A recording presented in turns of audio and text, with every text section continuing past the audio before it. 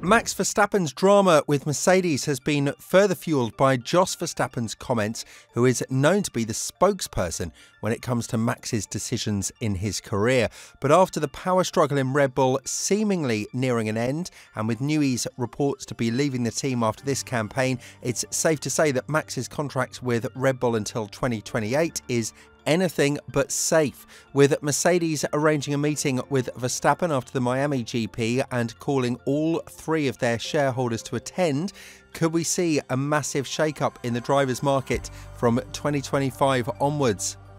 Jos Verstappen has opened up about the future of his son Max and Adrian Newey when it comes to the 2025 season. And although the Dutchman refused to say anything when it comes to the 65 year old mastermind, saying that it is a decision he cannot affect, his words were not so neutral when it comes to his son. Elaborating on this matter, Jos went on to say, I think everyone really wants Max, and I think he is in a good place at the moment. He has a fast car, but we also have to look further, we are also looking at 2026, so we are letting everything come to us. We will remain very calm and see what will happen.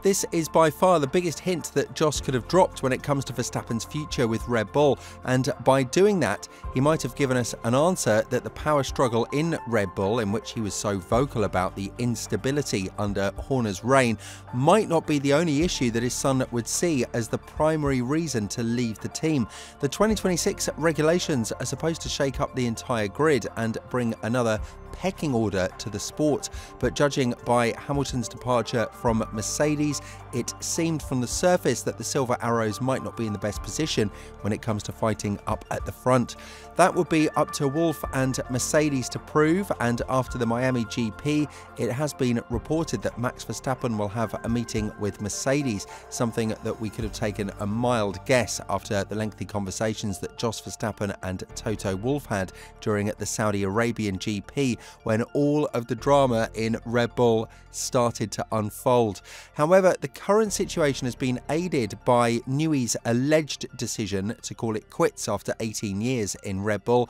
and seek a new home, which would definitely be a huge factor in Verstappen's departure, as the three time world champion said that it is extremely important for him to continue with the current structure heading into the 2026 season. Of course, engineers come and go, but none of them is nearly as important as Newey. Despite Horner's comments that the influence of the 65 year old has been very much insignificant on the RB20 and has been reduced by 50% on the RB19, regardless, the high interest for Newey goes to show that he is definitely an integral piece of the recent Red Bull success, whether Horner likes it or not. And it could be his very own ego that would essentially see Red Bull headed into their grave earlier than expected. But what is the offer that could start the domino effect from Max Verstappen? Reports suggest that Mercedes are willing to offer as much as 100 million euros per season for Verstappen's services, but judging by Max's current contract as well as his lifestyle,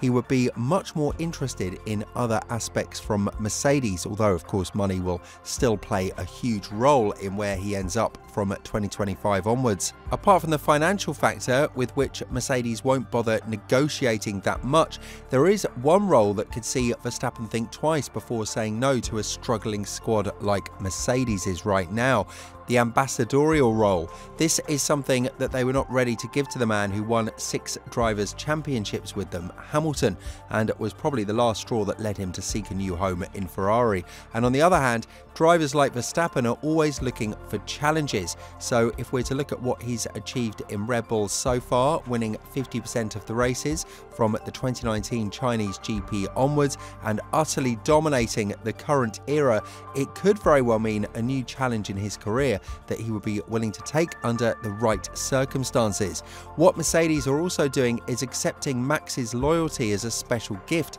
meaning that they are willing to take Helmut Marko into the team if that is what the Dutchman wants, apart from the engineers that would also help Mercedes find more performance from 2025 onwards. But it seems like Max will be asking for more guarantees that Mercedes has what it takes to turn their fortunes around as early as 2025, or definitely from 2026 onwards, which is why the team is ready to give him the opportunity to bring as many engineers as possible from the Milton Keynes squad who are loyal to him and to his driving style. Obviously, to say that both Newey and Verstappen would be joining Mercedes is quite a far fetched scenario. Verstappen himself hasn't spoken about this matter, but this should not be taken as a joke or a rumour because we must remember the statements from Jos Verstappen. Under the reign of Helmut Marko, there will be a lot of unrest in Red Bull while Horner remains in charge, and it seems like this is the threat that Wolff is clinging onto when it comes to bringing Verstappen to the team.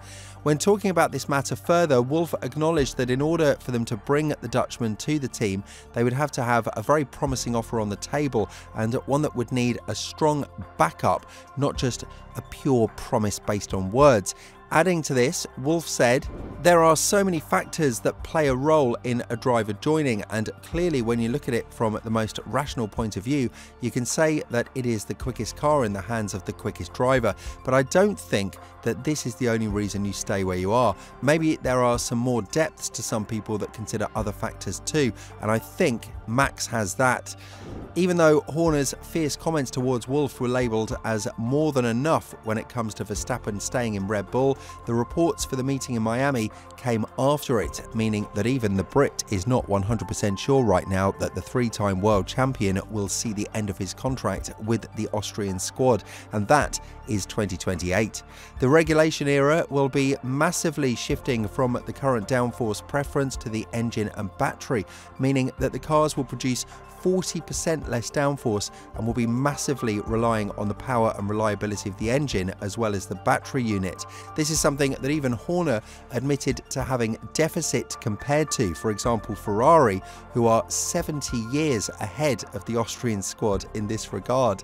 When you look at it from a neutral point of view, despite Red Bull developing their own powertrain unit that they're racing with from 2022 onwards, it is supported by Honda's intellectual property, meaning that from 2026, Red Bull will be solely on their own, while Honda will be giving their services to Aston Martin. Newey's situation is also not helping Red Bull because even though he initially stated that his loyalty would remain with them when the power struggle happened, it might have changed the narrative a little bit after the latest development of events. Right now, people close to the British mastermind stated that he's ready to leave the team from which he has been heavily disappointed in terms of the leadership. And the question remains to be answered Did Red Bull impose this on themselves by trying to move up a couple of pieces in the ownership? And is this the perfect scenario of karma coming around and biting you in the back? Auto Motor and sports journalist Michael Schmidt strongly suggested that Newey's exit clause with Red Bull will be worked on, as the last thing that the 65 year old wants is to be part of a team that struggles with internal politics, which might be one of the reasons he'll be ready to move to Italy and work for Ferrari. This was, paradoxically enough, the primary reason why he denied a hefty offer from Ferrari back in the COVID 19 days, something he talked about in his book. So, based based on this, you could understand how big of an impact the entire Red Bull situation has had on the team. With all this in mind, do you think that Verstappen will succumb to this challenge and accept the role of bringing back the glory in Mercedes, cementing himself as one of the greatest drivers in the sport at such a young age? Or do you think that he will see the end of his contract at Red Bull before he makes any decision on his further career? Let us know in the comments below, and once you've done that, check out the video that's appearing on your screen right now.